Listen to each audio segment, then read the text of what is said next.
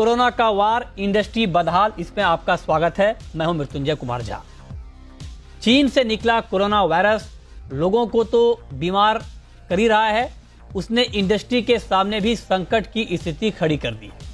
Auto sector को components नहीं मिल रहे हैं तो फार्मा सेक्टर कच्चा माल ना मिलने से परेशान है। और देश का इलेक्ट्रॉनिक सेगमेंट को चीन से प्रोडक्ट नहीं मिल पा रहे हैं।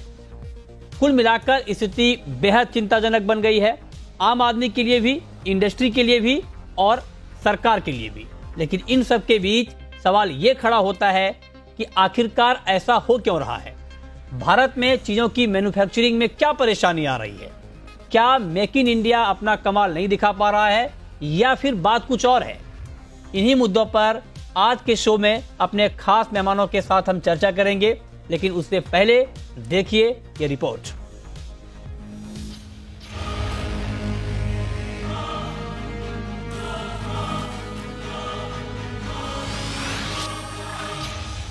चीन की सरहदें लांग चुका कोरोना वायरस। दुनिया भर में अब तक 4,300 से ज़्यादा जिंदगियाँ ले चुका है।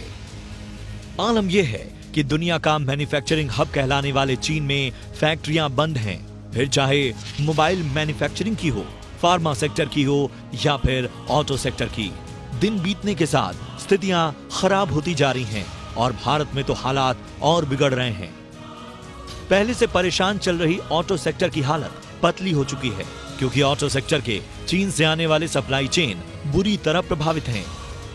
ईसीएमए यानी automotive component manufacturers association of India के मुताबिक भारत ने पिछले वित्त वर्ष में 17.1 बिलियन डॉलर के कंपोनेंट इंपोर्ट किए थे, जिसमें चीन से सबसे अधिक 27 परसेंट, यानी 4.5 बिलियन डॉलर का सामान था।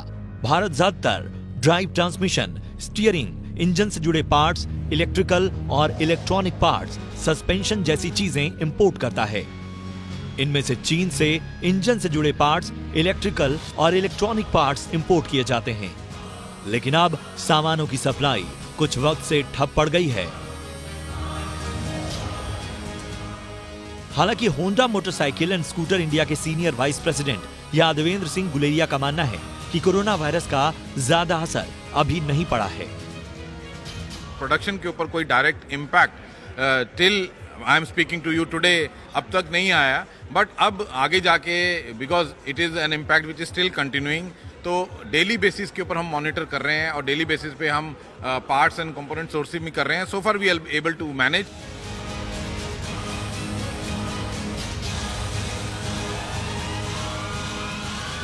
corona virus की वजह से फार्मा इंडस्ट्री पर भी संकट के काले बादल मंडरा रहे हैं, क्योंकि बाजारों में मास्क और दूसरी चीज़ों की किल्लत पहले से है और दवा कंपनियों के पास दवा बनाने के लिए कच्चे माल की कमी होती जा रही है। दवा कंपनियों की माने। तो अगर दो महीने में कच्चा माल नहीं मिला तो परेशानी बढ़ेगी, क्योंकि ज़्यादातर दवाओं का सिर्फ़ दो से ढाई महीने का ही स्टॉक है, और सिर्फ़ दो महीने तक दवाएँ बनाने का कच्चा माल मौजूद है। सरकार ने ज़रूरी दवाओं की सप्लाई घरेलू बाज़ार में बनाए रखने के लिए तेरह दवाओं के साथ साथ कच्चे माल और उनके फॉर्मुलेशन के निर्यात पर सख्ती बढ़ाई थी। अब कंपनियों को इनके निर्यात से पहले सरकारी मंजूरी लेनी होगी। जिन दवाओं के निर्यात पर सख्ती बढ़ी है, उसमें बुखार और दर्द में काम आने वाली, पैरासीटामॉल, इन्फेक्शन में काम आने वाली दवाएँ, कई एंटीबायोटिक्स दवाएँ, प्रेगनेंसी में काम आने वाली दवाओं के साथ विटामिन बी भी शामिल है।